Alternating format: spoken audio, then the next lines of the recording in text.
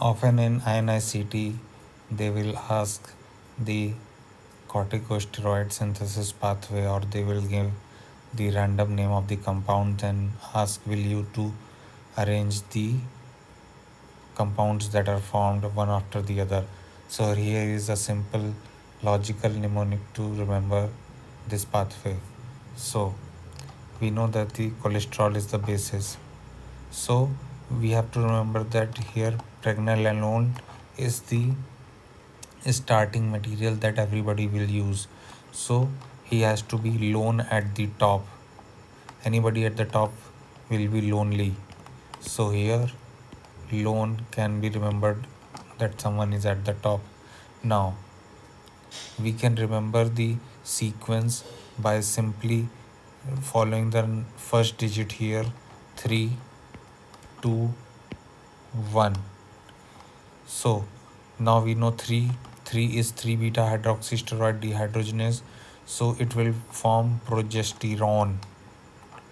Now from progesterone it will form 21 hydroxy. 2 is there. From 2 we can derive 21 hydroxy. And then we can write deoxycorticosterone.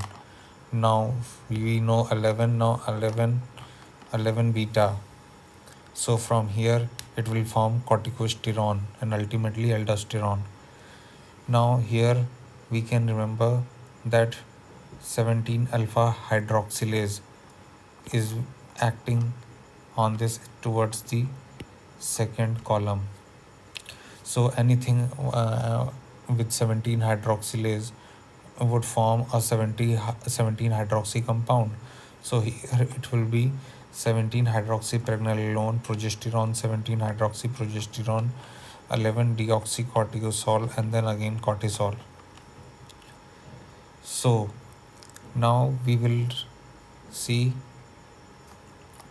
that uh, this 17 hydroxy compounds are being broken down so that they can ultimately form testosterone or dihydrotestosterone which is ultimately a ketone. So here we will use 1720 lyases